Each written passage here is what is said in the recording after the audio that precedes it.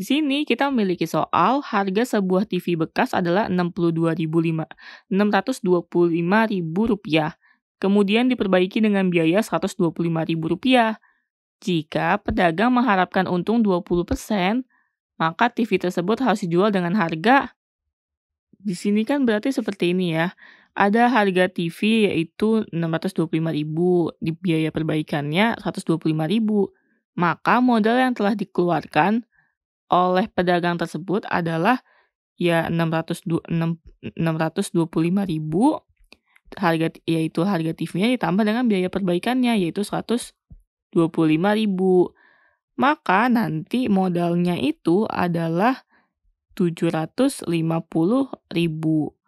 Nah, pedagang tersebut sudah uh, mengeluarkan harga 750.000 untuk modalnya nih.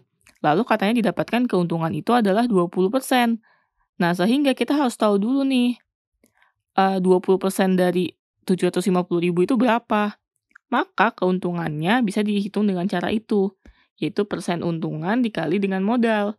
Yaitu persen untungannya kan adalah 20% atau 20 per 100 ya kalau bisa dijadikan pecahan biasa. Persen kalau dijadikan ke pecahan biasa harus dibagi 100.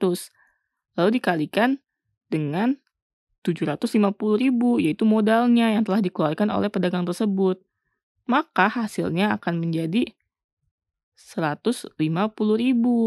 Nah, berarti keuntungan dari si pedagang tersebut yaitu 20% dari 750.000 adalah 150.000.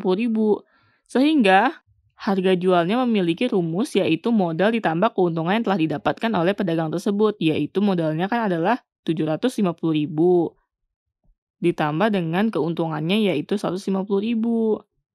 Sehingga nanti harga jualnya akan menjadi 900.000.